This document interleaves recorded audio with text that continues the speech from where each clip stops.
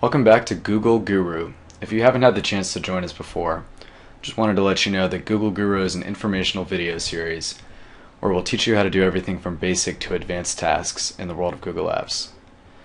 Today we're going to show you something pretty quick, and that's how to add a Google Doc to multiple collections at one time. And um, by Google Doc, I mean anything in the Docs list. So it could be an actual document, spreadsheet, a presentation, or an uploaded file. So you can see on my screen right here, I have my Docs list, and the first document is 2012 Planning Meeting Notes. So I might want to add this to a few collections, and it might be a little bit faster rather than dragging it into every collection. I just want to add it to all at once. So to do that, I check the box next to the doc, click on the More drop-down, click on Organize, and then I check the boxes next to all the collections I want to add it to. So 2012, Notes, and Planning. Apply changes, and you'll see next to the document in the list that it's now in all three of those collections.